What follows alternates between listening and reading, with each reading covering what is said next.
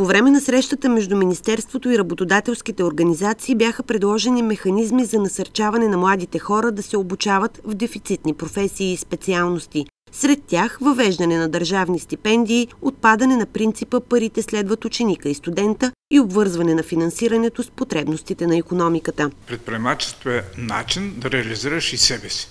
Не само ангажимент към обществото.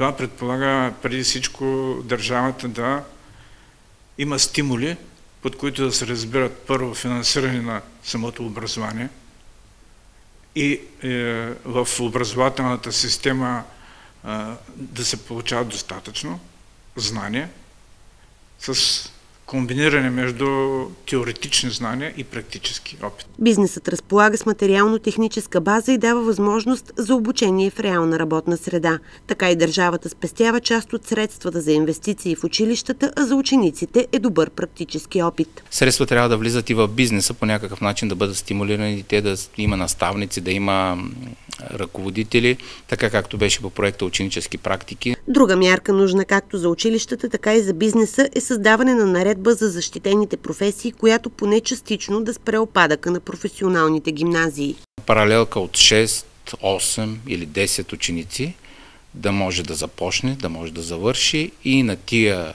няколко деца да им бъде гарантирано професионалната реализация, съответно и доброто заплащане, за да се реализират. От друга страна е важно качеството на професионалното обучение и образование, квалификацията на учителите и балансът между търсене и предлагане на специалисти. Връзките между образование и бизнес трябва да стават все по-тесни и да водят до реален ефект. 70% в економическия професионалното училище по економика отиват да учат висше образование.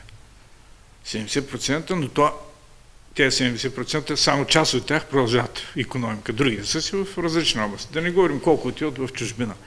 Това се отнася и за другите професионални училища, които в една или друга степен трябва да готвят кадри, които са полуготови, за да влязат в реалния, на реалния трудов пазар. Работодателите настояват и за пълни регистри на дипломите за всички образователни степени и удостоверенията за професионална квалификация.